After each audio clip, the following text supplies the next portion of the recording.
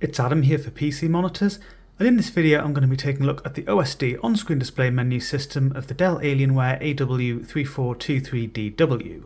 The OSD is controlled by a joystick, and you'll find that beneath the Alienware logo on the bottom bezel, or beneath the bottom bezel.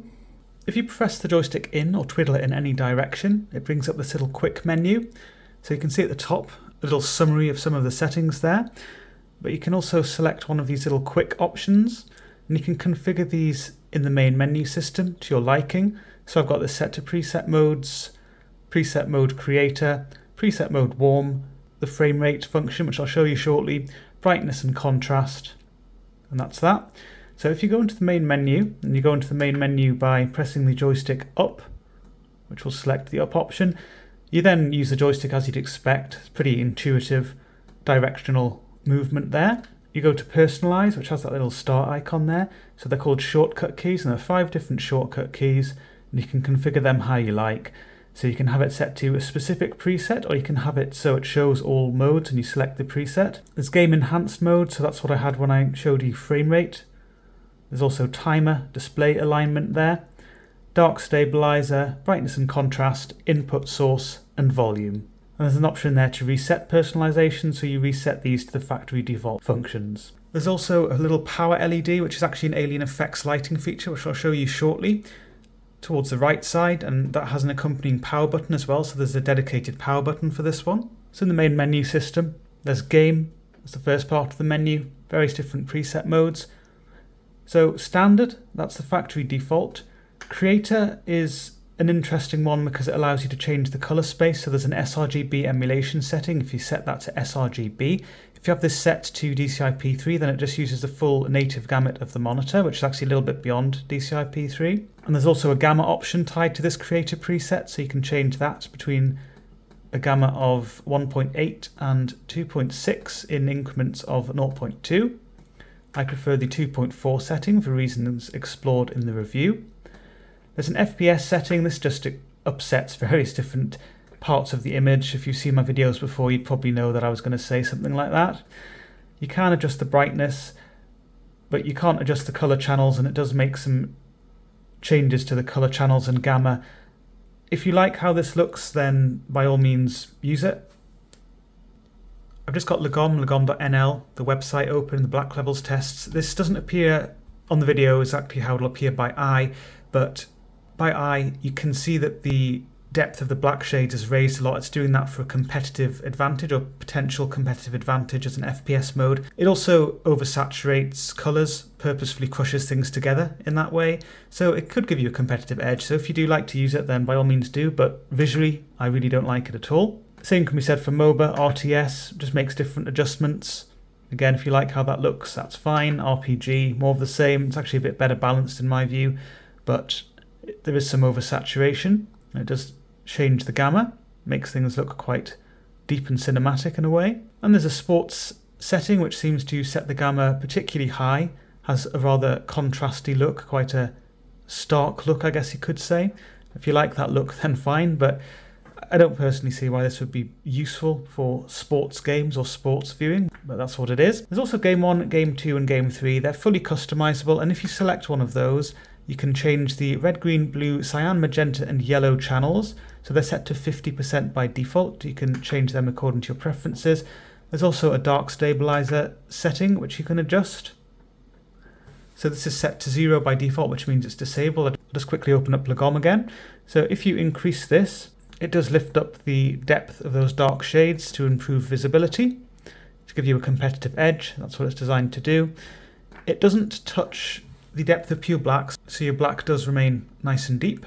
In other words, the contrast isn't affected. There is warm, which is a low blue light setting, as I explore in the review. There's cool, which gives things a cool tint, if you like that kind of thing. And there's custom color, which allows you to change the red, green, and blue color channels manually. These are set to 100% by default.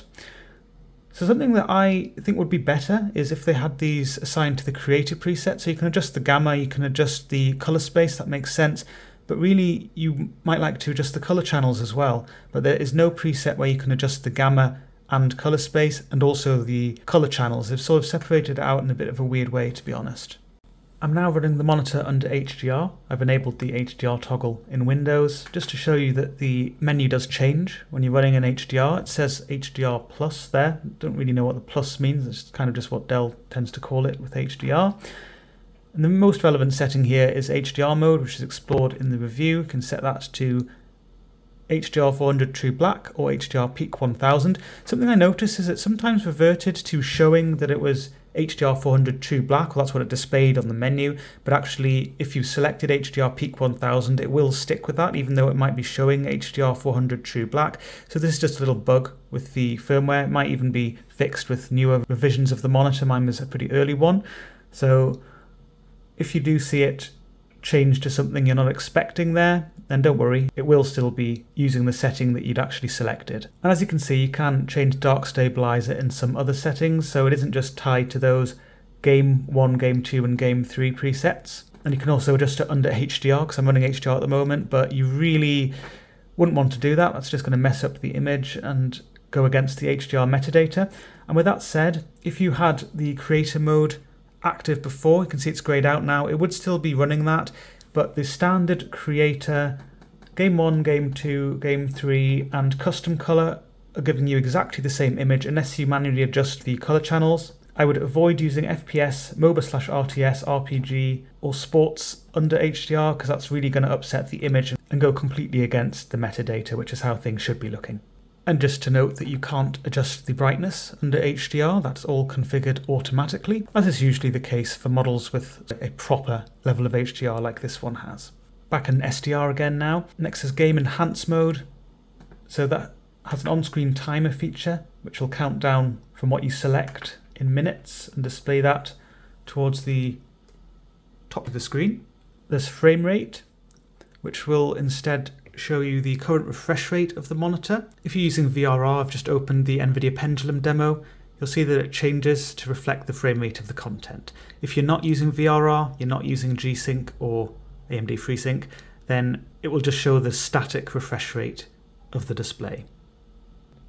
You might have also noticed that it selects only one of these at a time. You can't have a timer and frame rate display at the same time. The Zen display alignment, so it puts these little blinking red blocks on the screen and it's just designed so you can line up multiple displays more accurately. To exit that alignment process you can just press the joystick. And there's an option to reset game, so reset the game section of the menu to the factory defaults. There's then brightness and contrast, usual controls there. Input source, you can select the input used by the monitor. You can also have it so it doesn't automatically select the input for you. You can it so it's always manually selected by you. And then we have AlienFX Lighting. So you can control various different zones on the monitor. So it says there Zone 1 logo, Zone 2 ring, which is at the rear of the monitor, Zone 3 downlights, which is near the OSD of the monitor, and Zone 4 the power button. So you can set these up according to your own preferences. So you could have the logo, which is a little alien logo on the back. I'll show you that very shortly. You could have that red if you wanted, the ring. You could have that set, well, it could be red as well, doesn't really matter. Downlights, so if you go to custom color now, you can then change this to one of the preset colors there. And then there's a power button which you can select a different color for if you like. And also with the power button, you can have it so it's always on, or you can have it so it's off when the monitor is on, but would be on when it's in standby, or you can have it off when it's on and off in standby mode. In other words, it's always going to be off. So you can see how I've set it up there. So I've got the power button zone there. That's actually quite a vibrant bluish purple to the eye. Might not look that way on the video, however. There's the downlight. You might notice that's switched off. That's because there's actually a touch sensitive bar just under the Alienware logo. So it's actually a little bit closer to you than the bar itself. And that just turns the bar on or off. So this downlight feature, it's kind of a nice idea the way they've got the touch sensitive thing. So you'd think maybe you could use it as a reading light, but it's really not very bright at all. It does give a little pool of light underneath the monitor. I wouldn't say it's particularly useful for reading or anything like that. Depends if you're used to reading in particularly dim light, I guess. So it just gives a little bit of ambience, I guess, beneath the monitor. And the same with the lighting features at the rear. So the monitor is not particularly close to the wall at the moment, which is why you couldn't really see much of a pool of light behind the monitor. If it's closer to the wall, it still doesn't give you a very strong glow, to be honest.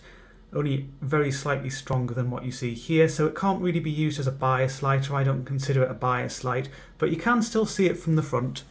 So it does give a bit of ambience. So the ring itself, big oval like that, and then there's the alien head as well. Sorry about the camera exposure, you can't really see the little details on the head there. There we go, a bit more like that.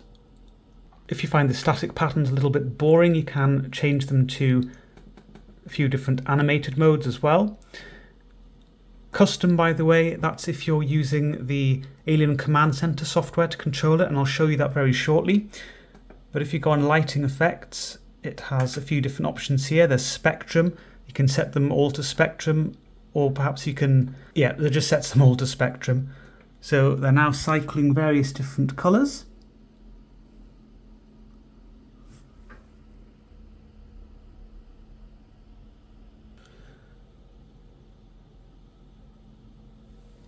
Very exciting.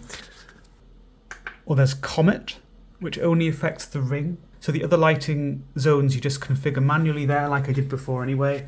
But then the ring does this sort of comet effect, as they call it. And finally, there's Rainbow Cycle, which is a little bit like Spectrum, I guess, but cycles more rapidly.